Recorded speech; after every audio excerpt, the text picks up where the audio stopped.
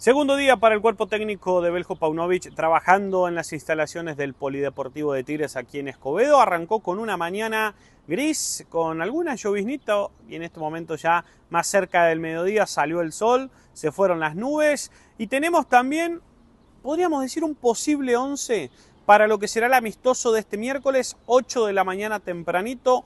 Todavía no está definido si será en el Polideportivo o en el Sedeco son las dos sedes que se manejan mientras eh, siguen arreglando lo que, bueno, dándole los últimos retoques al campo de juego del estadio universitario. Así que Tigres se enfrentará a Correcaminos este miércoles 8 de la mañana con un posible 11 que iría por este lado según lo que trabajó. A ver, Paunovic desde que llegó no hizo interescuadras o un ensayo de fútbol formal, es decir, 11 contra 11, dos arqueros eh, y un partido. No, siempre eh, le dio lugar a ciertos jugadores que fueron casi siempre los mismos, pero con ejercicios específicos. Por ejemplo, hoy trabajó mucho las transiciones de defensa-ataque, lo hizo tanto como con los titulares como con los eh, supuestamente suplentes. Así que esos fueron los indicios que dio el entrenador para tener un posible equipo con el que podría arrancar este miércoles ante Correcaminos.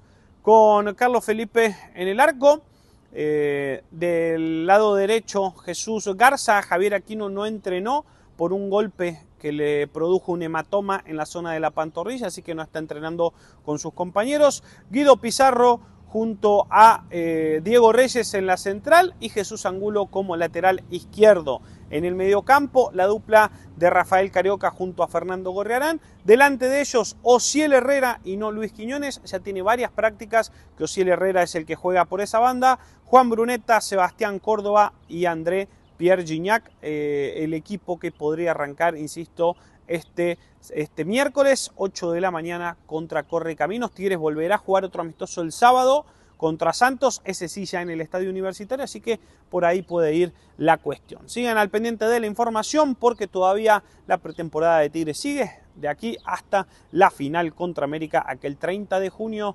eh, en Los Ángeles, ni más ni menos, para la Supercopa MX.